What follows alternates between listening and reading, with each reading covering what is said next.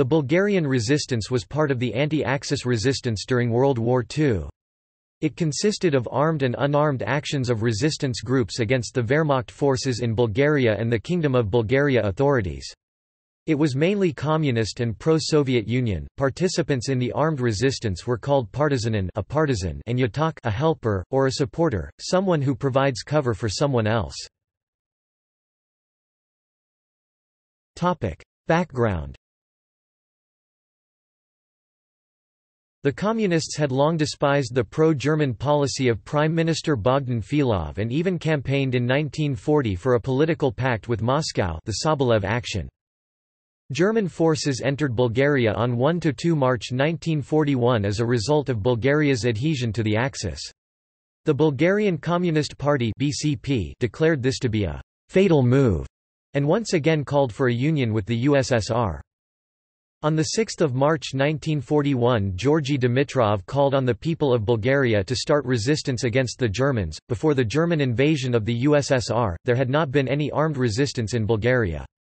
At the start of World War II, the Comintern supported a policy of non-intervention, arguing that the war was an imperialist war between various national ruling classes, but when the Soviet Union itself was invaded on the 22nd of June 1941, the Comintern changed its position. The resistance movement was set up in August 1941 by the Bulgarian Communist Party to oppose the pro-Nazi government. Beginning The German attack on the Soviet Union on the 22nd of June 1941 sparked the rage of communists and Russophiles in Bulgaria. The same day the BCP spread a brochure among the people urging them to hinder by all means the usage of Bulgarian land and soldiers for the criminal purposes of German fascism." Two days later, on 24 June, the BCP called for an armed resistance against the Wehrmacht and the Bogdan Filov government. On 23 July 1941 an illegal radio station, Hristo Botev, Hristo Botev began broadcasting. In the first year of the resistance the BCP used mainly its combat groups. They carried out a number of actions, including arson and demolition of arms, clothes and fuel warehouses, communications, factories and transport lines. The combat groups assassinated prominent Bulgarian politicians, army and police leaders, and Wehrmacht officers. The combat group's activities impaired the image of Hitler's supporters in Bulgaria but a great number of their members were captured or killed.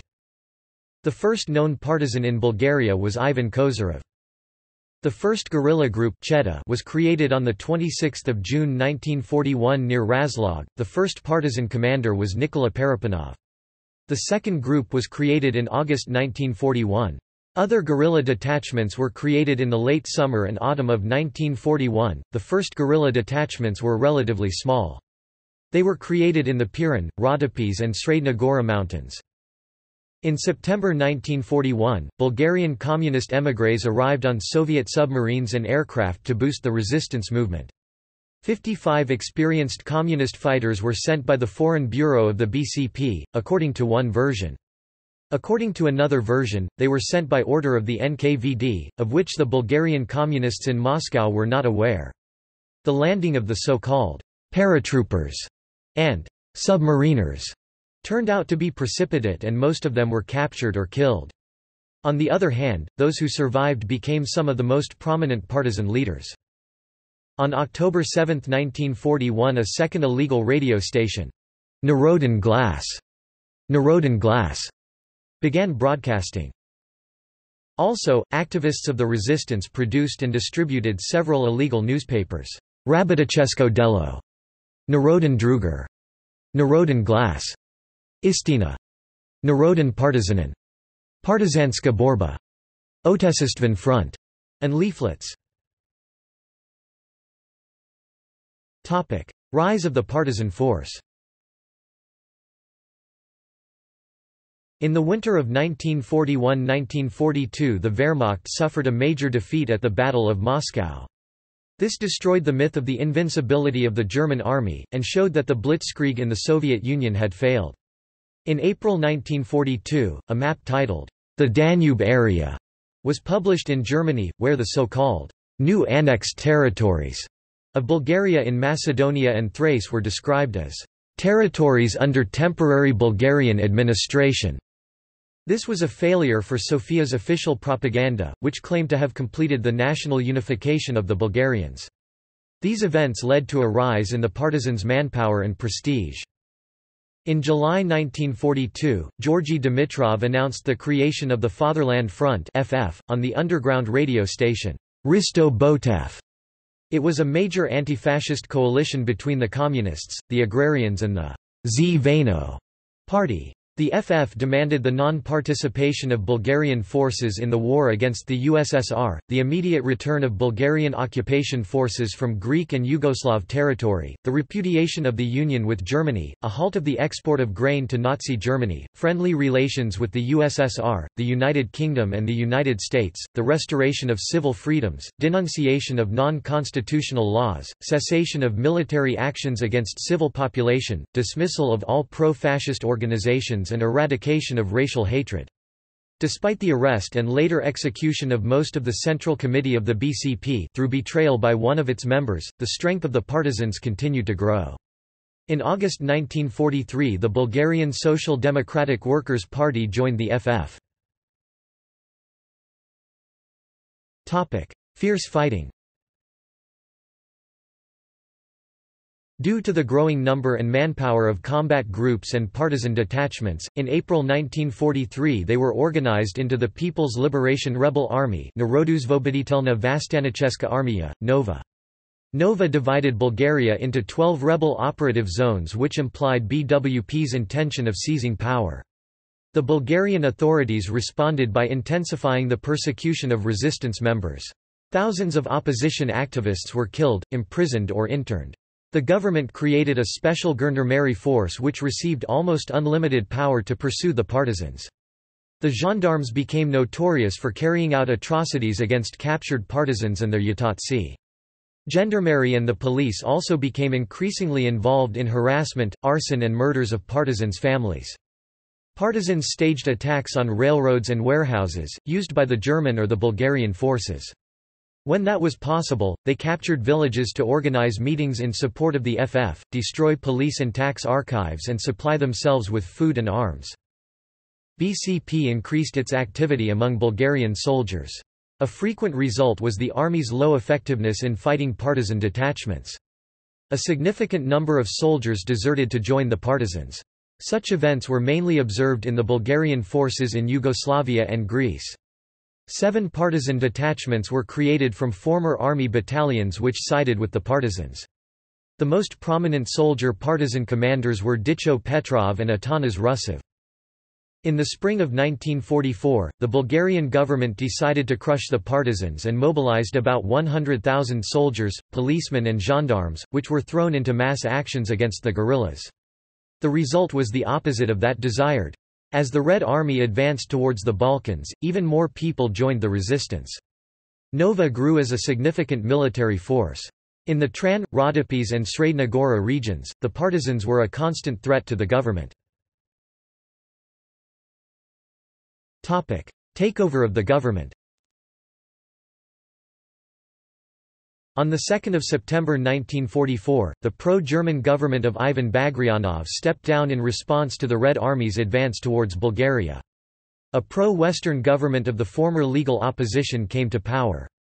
It ordered the army not to resist Soviet forces, demanded that the Wehrmacht leave, repudiated the union with Germany and started negotiations with the Nova commander Dobry Terpeshev. The right-wing agrarians, who controlled the government, offered the FF some ministerial positions. In the meantime, the police and the army continued to pursue the partisans, unchecked by civil authority. Advancing Soviet troops gave the Communists self-confidence and they rejected the agrarians' offer. Between 6 and 9 September 1944, 170 Bulgarian towns and villages were captured by the partisans. On 9 September, Terpeshev ordered all partisans to descend from the mountains and seize power in all of Bulgaria. All brigades, battalions and cheti of the People's Liberation Army are to capture the villages and towns and install FF committees in them. In Sofia, Zveno mobilized its influence in the military and strong army detachments, including the Tank Brigade, sided with the FF and staged a coup on the night of 8–9 September. Soon after FF's seizure of power, the partisans became the first forces to resist the attempted return of the Wehrmacht in Bulgaria on its western and northwestern border. Bulgarian partisans also participated in the liberation from Nazi occupation of some towns and villages in Yugoslavia and Greece. After 9 September and prior to Bulgaria's army joining the Allies' fight against the Axis, former partisans were placed in key positions in the Bulgarian military to ensure its loyalty. Former partisans also built up the new People's Militia, which replaced the Bulgarian police. They allegedly participated in mass retaliation which took the lives of thousands of former civil servants, policemen and gendarmes. Strength of partisan forces The ultimate number of partisans according to the official historiography of People's Republic of Bulgaria was around 30,000.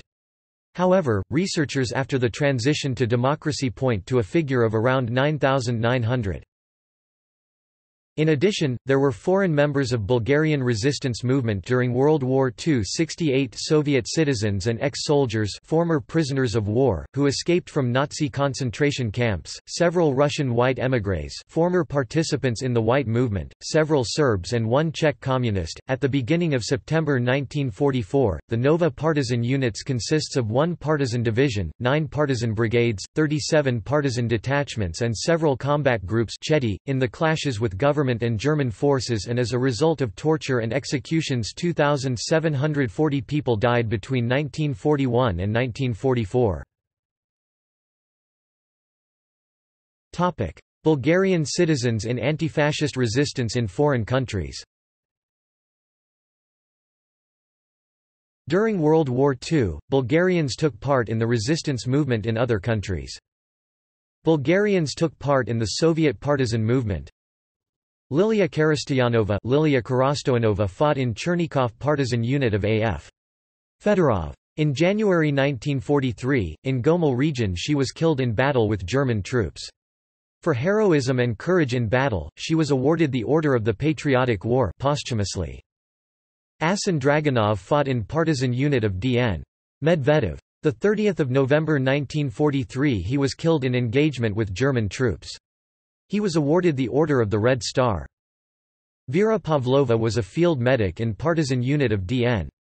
Medvedev. During the service in this partisan unit she fought in 33 battles and performed 800 medical operations.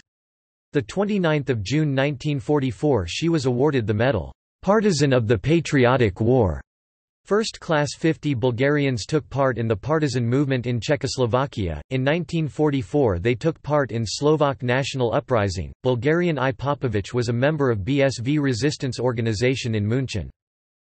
Bulgarian communist Todor Angelov took part in the Belgian resistance movement. In early 1943, he was arrested and interned in the Fort Breendonk concentration camp, where he was executed in late November 1943. In addition, 223 Bulgarians citizens of Bulgaria and Bulgarian emigrants, who had become citizens of the USSR, fought against Axis troops in the Soviet army. Some 151 of them were killed in action. References